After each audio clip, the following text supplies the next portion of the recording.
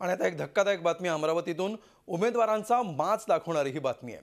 अमरावती पदवीधर मतदारसंघातले काँग्रेसचे उमेदवार संजय खोडके यांनी संस्थाचालक आणि प्राध्यापकांना धमकी दिली आहे.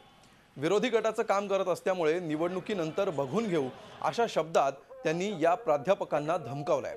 या प्रकरणी मेघश्याम तरडे यांच्या तक्रारीनंतर अमरावतीमधल्या गाडगेनगर पोलीस स्टेशनमध्ये कलम एकशे एकाहत्तर क पाचशे सहानुसार अदखलपात्र गुन्हा दाखल करण्यात आला आहे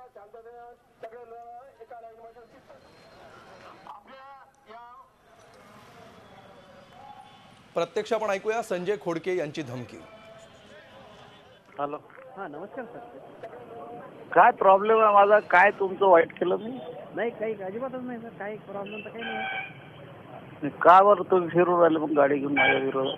ते कसं झालं सगळ्यांनी म्हणून बा एक तर बाहेर फिरणं बरोबर नाही वाटत. म्हणून? सोबत आहे सगळेजण सोबत सोबत आहेत तर आता काय? सगळे कोण? तुम्ही तीन लोकच आहे. तो चोपडे तो कोकाटे आणि तुम्ही हा ते बाकी हा ते पुरी पुरी मुख्याध्यापक संघ माझ्यासोबतच आहे. तुम्ही आता उद्याचा दिवस जाऊ द्या मग मी सांगतो तुमचं मुख्याध्यापक संघात हा तुम्हाला म्हणजे फार सोपा वाटला का संजय खोडके? करडे? आणि सर तुमच्याबद्दल काही दुमत नाही सर. म्हणजे तुमच्या करडे दुमत दुमत तुका करू. हा. तुम्हाला इतका सोपा वाटला का संजय खोडके? कशी चालवता शाळा तुम्ही आता याच्यापुढे पाहा तुम्हाला सोपं वाटलं का? हा? तुम्हाला सांगून राहिलो तिघाला समजून नाही राहिलं या चोपड्यालाही समजून नाही राहिलं नाही? हा मोर्शीला गाडी घेऊन फिरून राहिले तुम्ही.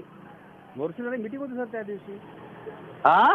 मोर्शीला मिटिंग होती म्हटलं त्यांच्या त्या संघटनेची तिथं नवीन कार्यकारिणी झाली.